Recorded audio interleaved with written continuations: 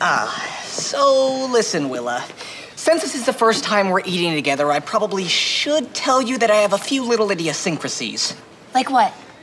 Well, it's just that I like to separate my food by color and then divide my plate into quadrants and chew each bite 57 times. It's. It's nothing. It's okay. Woody mentioned you had a few little quirks. I don't mind. I'm glad, Willa, because I really like you. And I hate that awkward stage of dating when you're trying to pretend you're perfect. Me too. I'm so glad you said that. So let's just agree to be ourselves. No holding back. Let's just let it all out. Okay.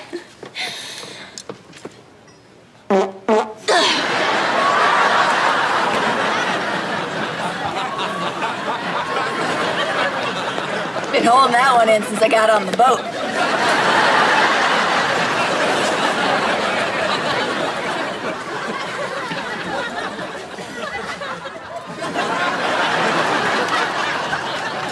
Well, I'm glad we cleared the air. And all of the tables. So then, Woody made me laugh so hard that the chocolate milk just shot right out of my nose and put out the birthday candles. Oh, there was snot all over the cake, but I ate it anyway. You ate it anyway. You so get me, Cody. Don't you think that we're perfect for each other? Uh, Yeah.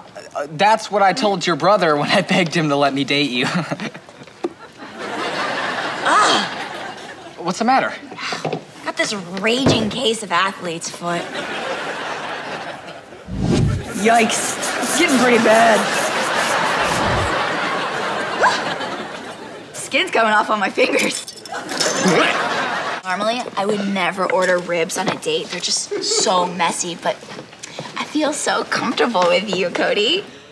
Great. Uh, let's dive in.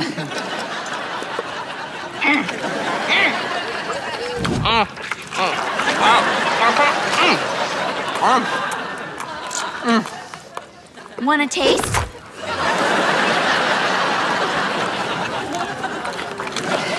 No. No. You know, Cody, I'm really starting to develop some deep feelings for you. Oh, you're crying. You must feel the same way about me.